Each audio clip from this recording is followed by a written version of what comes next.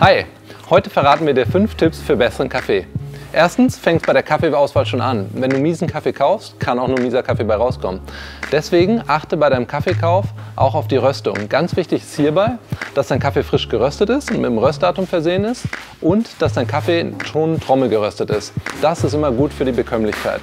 Außerdem ist es immer ein gutes Zeichen, wenn die Kaffeepackung mit möglichst vielen Informationen zur Herkunft des Kaffees versehen ist.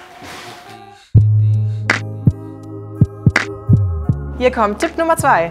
Frisch gemahlener Kaffee schmeckt einfach viel besser. Aber gemahlener Kaffee verliert sehr schnell sein Aroma und das ist bei gutem Kaffee natürlich eine Schande. Wir haben hier eine kleine Auswahl an guten Mühlen für dich, die gar nicht teuer sein müssen. Und hier findest du auch noch ein paar Tipps dazu.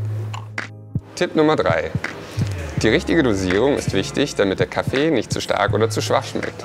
Bei Coffee Circle rechnen wir mit 60 Gramm Kaffee auf 1 Liter Wasser. So kannst du dir dein Mengenverhältnis selbst errechnen. Weil uns Angaben wie zwei gestrichene Teelöffel zu ungenau sind, empfehlen wir eine Feinwaage zu benutzen.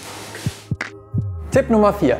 Bevor du deinen Kaffee aufbrühst, solltest du das Wasser ein bis zwei Minuten stehen lassen, sodass es idealerweise 92 bis 95 Grad Celsius hat. Ist die Wassertemperatur zu hoch, verflüchtigen sich nämlich die Aromen zu schnell und es werden Bitterstoffe gelöst, die sowohl für den Geschmack als auch für deinen Magen nicht gut sind. Tipp Nummer 5 ist, wie lagerst du deinen Kaffee richtig? Achte darauf, dass du deine Bohnen vor den vier natürlichen Feinden des Kaffees schützt. Diese sind Luft, Licht, Wärme und Feuchtigkeit. Deshalb empfehlen wir dir, den Kaffee nicht im Kühlschrank aufzubewahren, da er dort Fremdgerüche aufnimmt. Achte beim Kauf darauf, dass die Verpackung über ein Aromaschutzventil verfügt und du nach der Benutzung der Verpackung diese immer gut verschließt.